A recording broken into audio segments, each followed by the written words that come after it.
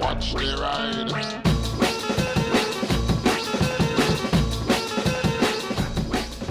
Hey everybody, so to return to the subject of a video which you may have recently seen, the one that was like things are changing fast, I actually want to talk about this as its own video because as I was also not entirely sure about it, it would seem that you guys are not entirely sure about it because basically I've had every opinion from one side to the other side to somewhere in between. The question was one of my subscribers has to ride 100 miles a day, 500 miles a week, and he has a Ninja 300 and he was one and he was he says is using a lot of fuel and he was saying basically would he save money on fuel by getting a larger cc bike? Some people said you know small cc bikes always use less fuel than large cc bikes but i think they're missing the point. I think if you have a 300 and you're sitting at 70 75 80 miles an hour on the motorway i'm assuming the guy does most of the riding on the motorway on a, on a small cc bike that's having to rev the absolute tits off of it almost I'm pretty sure that is actually going to use more fuel than a larger capacity bike running at lower uh, RPMs. Because I mean, for instance, this bike, if I if I try not, it's not hypermiling. 'cause, God, I don't think anyone should try and hypermile on a bike.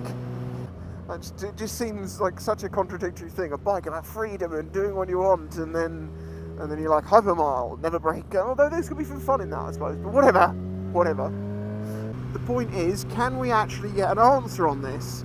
Because I mean, like some people have said, well, my bike, for instance, uh, the NC750, I think it was, was was suggested so many times, saying it's like 70 miles to the gallon.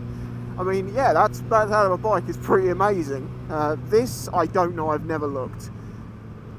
To be honest with you, I know it, it's not too friendly on its fuel because of the way I ride it.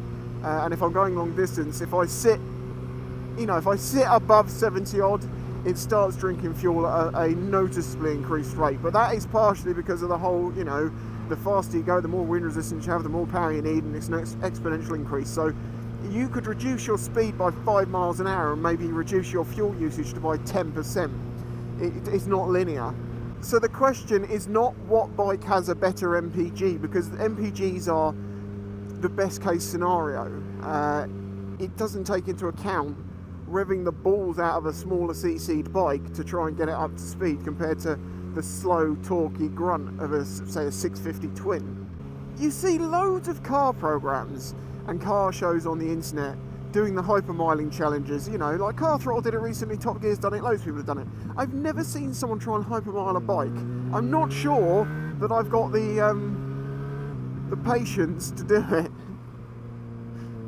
But it would be interesting to know what sort of fuel savings could be had by some gentle acceleration, minimal braking, and, and, and less of the beans. Less of the beans!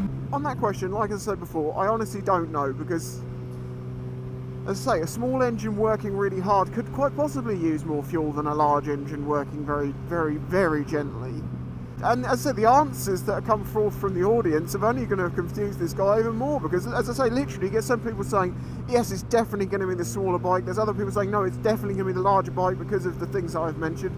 And there's been everyone in between. So, I don't know. I frankly don't think anyone. I mean, someone in there's right, we just don't know who. If you enjoyed this video and the other content on the channel, please consider following the links in the description to show your support.